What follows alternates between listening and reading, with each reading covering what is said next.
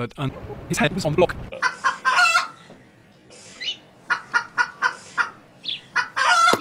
But um, It is therefore ordered and adjudged that the said Donald John Trump be, and he is hereby, acquitted of the charges in said articles.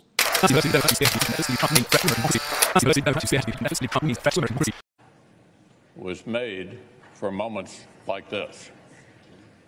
The framers predicted that factional fever might dominate House majorities from time to time.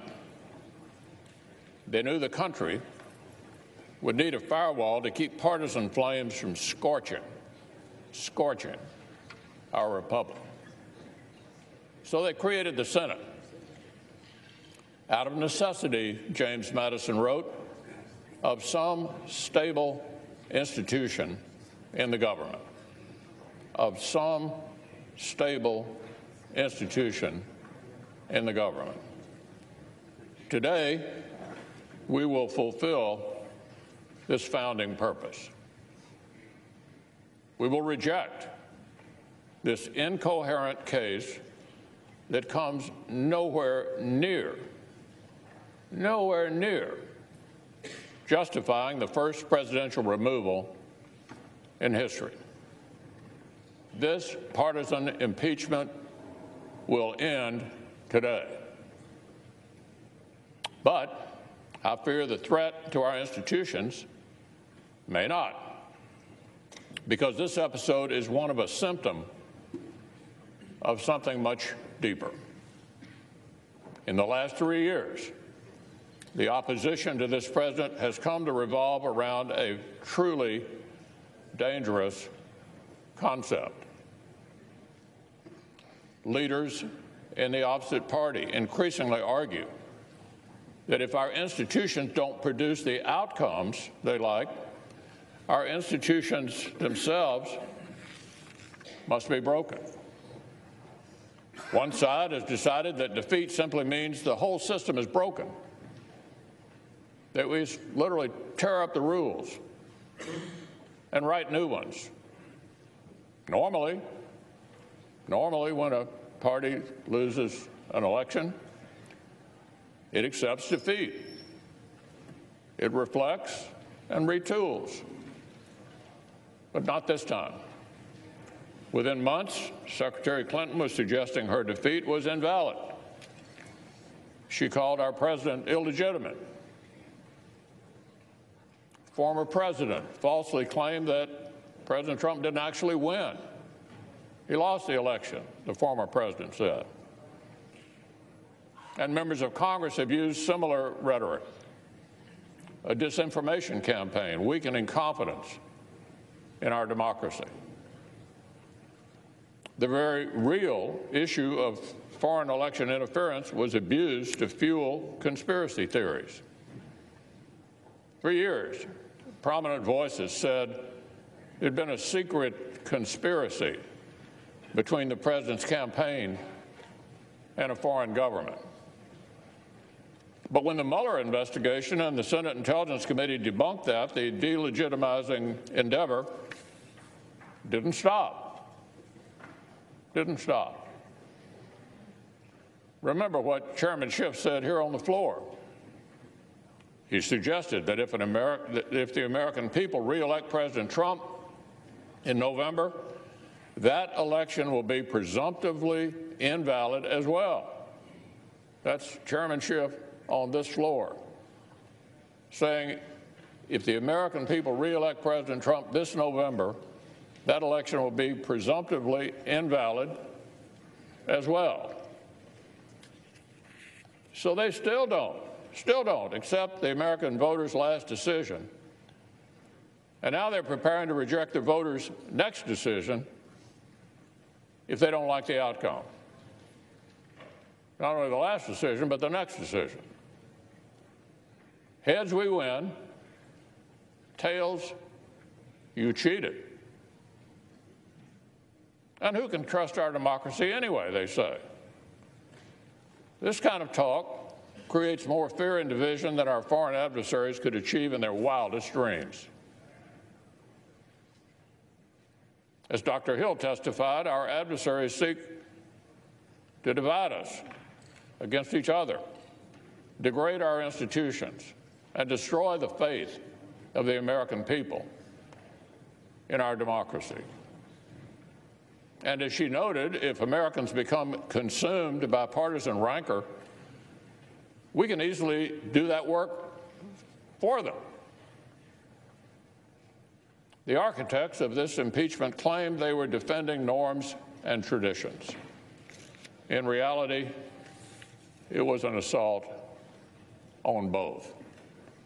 First, the House attacked its own precedents on fairness and due process, and by rushing to use the impeachment power as a political weapon of first resort. Then their articles attacked the office of the presidency. Then they attacked the Senate and called us treacherous. Then the far left tried to impugn the Chief Justice for remaining neutral during the trial. And now, and now, for the final act, the Speaker of the House is trying to steal the Senate's sole power to render a verdict. Speaker says she will just refuse to accept this acquittal. Speaker of the House says she refuses to accept this acquittal. Whatever that means. Perhaps she will tear up the verdict like she tore up the State of the Union address. So I would ask my distinguished colleagues across the aisle is this really, really where you want to go? The president isn't the president? An acquittal isn't an acquittal? Attack institutions until they get their way? Even my colleagues who may not agree with this president must see the insanity of this logic. It's like saying you're so worried about a bull in a china shop that you want to bulldoze the china shop to chase it out. And here's the most troubling part. The most troubling part. There is no sign this attack on our institutions will end here. In recent months, Democratic presidential candidates and Senate leaders have toyed with killing a filibuster so the Senate could approve radical changes with less deliberation and less persuasion. Several of our colleagues sent an extraordinary brief to the Supreme Court threatening political retribution if the justices did not decide a case the way they wanted. We've seen proposals to turn the FEC, the regulator of elections and political speech, into a partisan body for the first time ever. All these things, Mr. President, all these things, a toxic temptation to stop debating policy within our great American governing traditions and instead declare a war on the traditions themselves. A war on the traditions themselves. So, colleagues, whatever policy differences we may have, we should all agree this is precisely the kind of recklessness, the kind of recklessness the Senate was created to stop. The response to losing one election cannot be to attack the office of the presidency.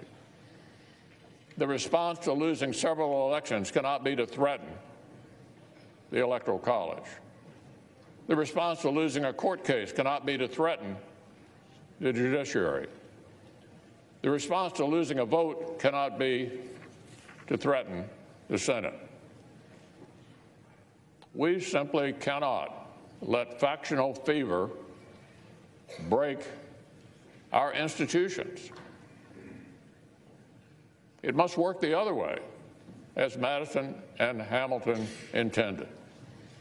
The institutions must break the fever rather than the other way around. The framers built the Senate to keep temporary rage from doing permanent damage to our republic. The framers built the Senate to keep temporary rage from doing permanent damage to our republic. That Mr. President, is what we will do when we end this precedent breaking impeachment. I hope we will look back on this vote and say this was the day the fever began to break. I hope we will not say this was just the beginning. I ask unanimous consent the Senate stand in recess subject to the call of the chair. Without objection, the Senate stands in recess, subject to the call of the chair.